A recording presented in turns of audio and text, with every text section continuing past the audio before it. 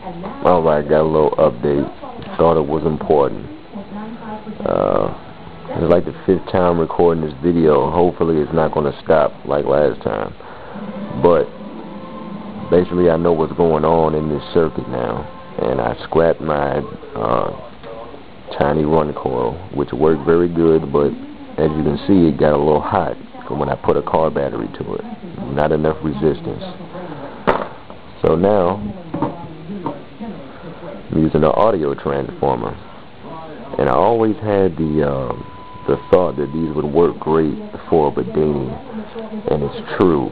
They they do work great. It's got it's a bifilar, so it's got fat and thin wires on it for a trigger and run already wound on there. So you really don't have to do anything. And another great thing is, you see this is in the shape of an E. Um, as I'm learning, a little bit off-center alignment of your trigger and run is going to give a better push. So basically, this this automatically does that for you. So your your trigger is going to induct here and your push is going to come from either here or here, depending on the polarity of your magnets, because this is going to be like north and south. So as the magnet gets close, your core is saturated when it's at the middle. Then as soon as the magnet passes and leaves, opens up the circuit, the spike comes out, and that's when your run fires, which is going to be right around this point, which is where you want it to be at. So I thought that was pretty cool.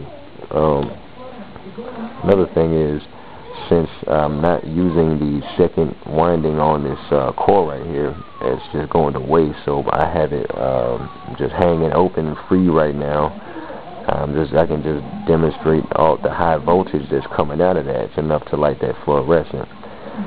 Just off of the six volts, I thought that was pretty cool. But the difference between this and the other one is this this this core makes the wheel go a whole hell of a lot faster. And um, the voltage that gets inducted into that trigger and then into that second uh, winding right there is, is ridiculous. I, I basically shocked the piss out of myself by accidentally touching it. But if anybody has any of these, they work fucking awesome, uh, if you ask me. I'm going to try to start this thing.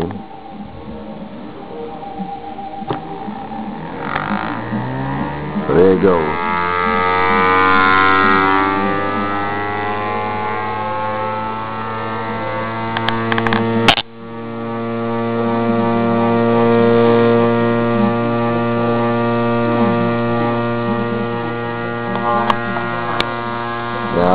Can tell, but it's going a whole lot faster. Now, I'm going to put this to the second winding. You see it lights it nicely.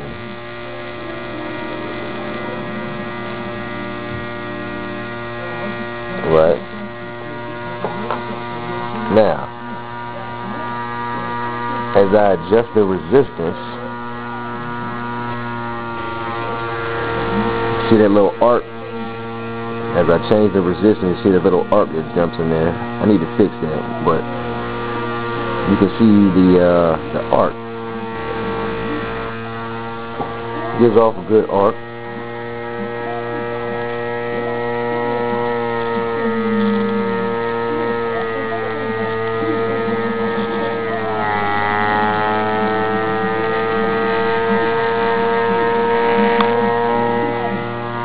So yeah, thought that was pretty cool.